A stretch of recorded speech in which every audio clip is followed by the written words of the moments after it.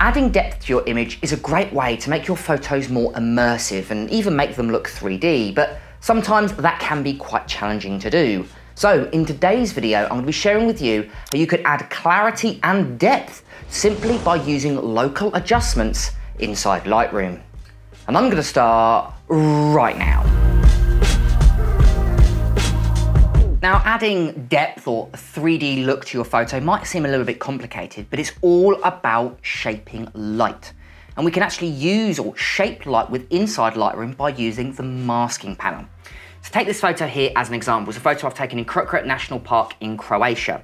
And the photo I think looks really good. I've edited it really nicely, but it doesn't have that depth, that visualization of 3D that I want it to. Kind of, it looked really impactful when I was actually seeing it, but in the photos, it just didn't have the same impact. And we can emphasize that by actually using masks. So what we're gonna do is go over from our edit panel, we're gonna go to our masking panel. And we're pretty much gonna be using two main masks. We're gonna be using our linear gradient and our radial gradient.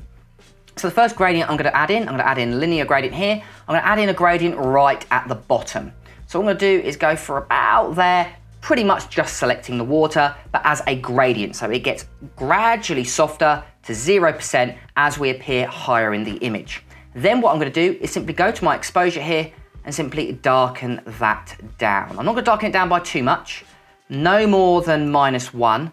And as you can see, we're already adding in a little bit of depth. The, the foreground looks closer to us, I think, by darkening it. Now, we wanna do the same with the background. We wanna make it look a little bit further away. So what I'm gonna do is I'm gonna again create new mask.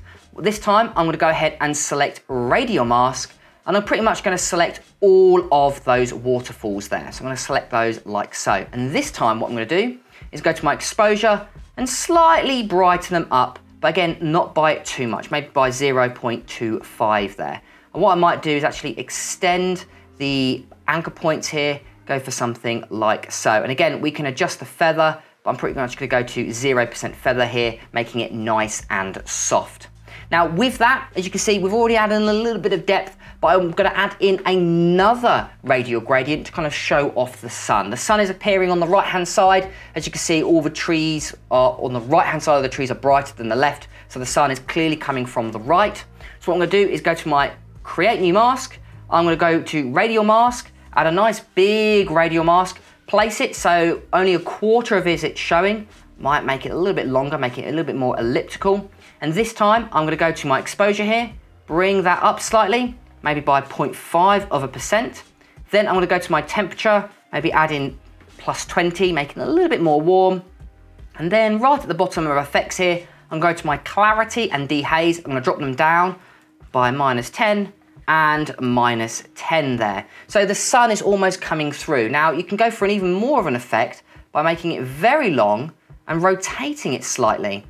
So it's adding in, but gradually as it kind of hits the image. Now what I might do is make it a little bit narrower and go for something like so. So basically what you want to do to visualize depth is by showing off the photo's shadows and bright parts and sculpt the light with inside the image. Now, we've only done a really quick job here, but already if I show you the before and after, we can see that we're kind of adding in light, using the sun to bring in, making it softer and also darkening the foreground to shape the light and make the photo look a lot more 3D. Now, if you want to know a little bit more about masks and how you can use masks inside your photo, I've actually got a masterclass tutorial discussing everything about masks. But this is one way of how you can use masks to show depth and add clarity to your images inside Lightroom. Here is the before and here is the after.